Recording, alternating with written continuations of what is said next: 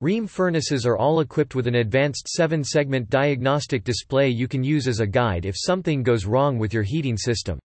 Unlike many other furnaces, Rheem ones don't use flashing LED light sequences to indicate errors. And the display will instead give you a simple code you can use for diagnostics. For instance, 0 means the unit is in standby, while H means the heat is on. The flashing LEDs on your furnace will correspond to a specific fault code that is shown here on their diagnostic chart. Code error code 10. Result there is a 1 hour lockout in place.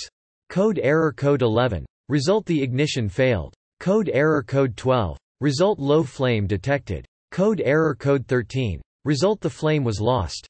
Code error code 14. Result there was an unexpected flame.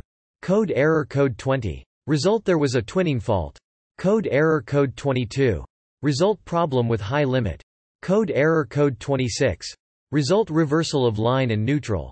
Code error code 33. Result rollout switch problem. Code error code 55. 57. Result pressure switch issue. Code error code 58. 59. Result water or condensation problem. Code error code 61. Result problem with the blower. Code error code 93. Result problem with the control.